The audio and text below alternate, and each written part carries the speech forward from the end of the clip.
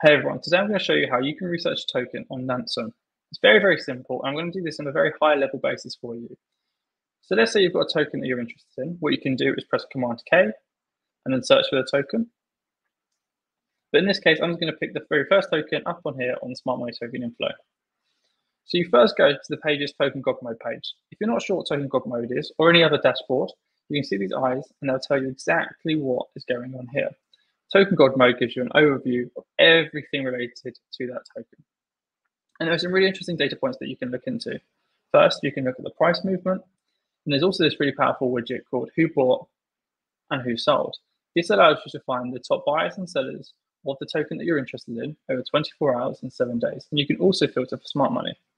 I personally use this to find addresses that I might want to track later down the line. For example, this 30 day smart DEX trader has bought over $200,000 worth of this token. And I might be interested in it. So I'll go to the tab here. And what I did there was I right clicked and went to wallet profile for token by pressing command click. This allows me to open up a new tab without having to go on and keep everything on the same page. I like to do this personally so that I can have multiple tabs so I can track different addresses and decide what I want to do on there. So what we can see here is that all the labels from this address, we can see the smart money because of the emoji, and we can see the balance over time. So let's look at their activity. What we can see is that two days ago and then one day ago, they were aggressively buying this token, Ethena, in different types of slots. And that's what they totaled into the $250,000, whatever we saw earlier. And we can see that at the moment, on their cost basis, they're up 16%. And I find this really interesting because in this example, I might be an Ethena holder. So what I'm going to do is I'm going to manage labels. I'm going to add an additional label here and put ENA here. I'm going to add the wallet to my watch list. And so this does two things. So the first thing it does is that now whenever I see this address throughout Nansen, I'll be able to see the custom label and I'll go, ah, I know this address is interesting because I looked at it and they had some interesting activity with Ethena. And if I ever want to stay updated with the address, because I haven't decided how good it is yet, I can go to my watch list, which is in the sidebar, and I can see the address. I can then click on that address and see exactly what they're doing. In this example, we can see that they are highly profitable. They are a top DEX trader in realized profits in the last 30 days. And we can see the interesting tokens that they hold. So you can see in this example how we went from one token and we used the Who Bought widget and we filtered for smart money and found an interesting trader. We repeat this process over and over again when we see different price movements. Let's say the token's gone up significantly.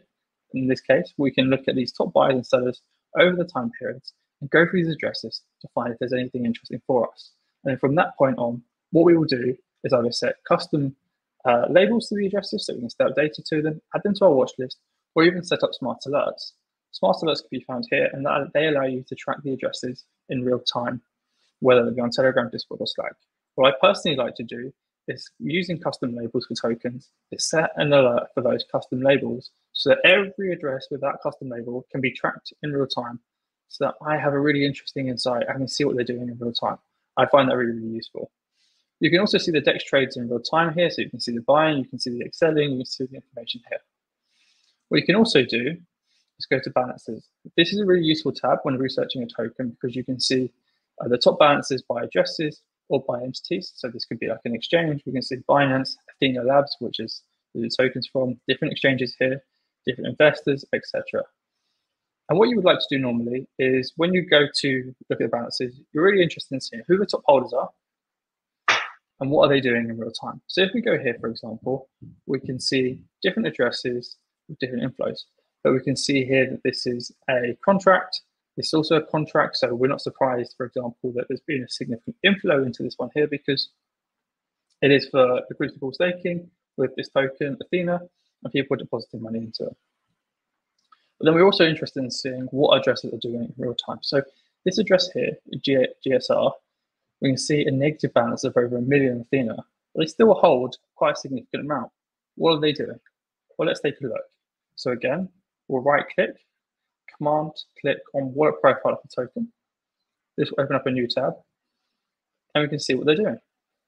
So we can see there's been some volume in, some volume out, some more volume in, some volume out. And we can see they're up 24%. So when we look at what they're doing, we can see that they've been transferring funds from different exchanges into their address And we're also seeing them transfer funds into different addresses. Maybe they're buying, maybe they're selling, maybe they're moving funds across the wallet. Because this is off chain, we don't know, but you might want to stay updated with this wallet. So let's go back to the balance tab. And what I usually recommend is that you tend to look into these addresses here to see if there's anything interesting. You can also apply different filters here. So you can filter by addresses, by labels, by custom labels. So remember when we set the address for Ethena, so ENA, we can now see the address, hopefully, in there. What we can also do is set filters for smart money. I find this really, really useful as well.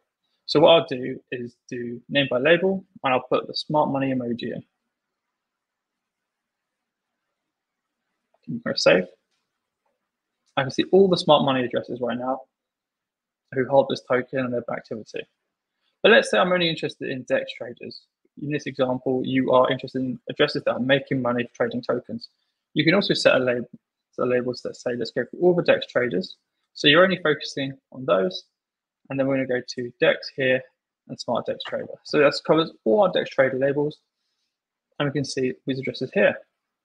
So you're looking to make an entry or exit, and this 180 day Smart DEX Trader has seen the balance change completely from 666,000 all the way down to zero.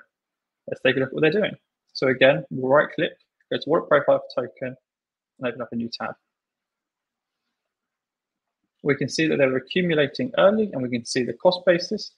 We can also see the price of the thing has increased. And so what we can see here, what originally looked quite bearish, because we saw the 666,000 tokens go from, from the address to zero, we can actually see here is that they've actually staked the address, staked the tokens. So they're actually looking to earn yield on the tokens and they are potentially longer term bullish. So again, what we can do is manage labels or lessons address. So that's really, really interesting. So let's just go here. I realized I wasn't sharing the tab, so let me just quickly walk through that again. So you can see all the activity here, and there you go. And so let's go back to the balances tab. We also have activity for exchanges. This gives you an overview of what's happening on exchanges, specifically with this token. And we also have the smart money tab, which is really, really cool. So you can see all the smart money addresses and the changes and so forth. So we go to sort by balances, we can see the top holders, we see some funds here, we can see some DEX traders, we can see some popular people on social media and so on. We can see their activity, which is also very interesting. And we can also just see the overall view of what smart money is doing. So in this case, we have seen that the holders have been declining as well as balance holders declining. But as we saw with our 180 day smart DEX trader, this might not represent, this might not actually be as bearish as we may think because some of these addresses are actually staking the token. For tokens that are on multiple blockchains, you can just go up here and you can click on the drop down here and you can see the chains. For example, if we look at the token prime, we can see that we can look at it on Ethereum or we can look on base. So that's a quick high level overview on how you can look into a token on Nansen. If you have any questions, reach out to us on Twitter or email us at support at nansen.ai.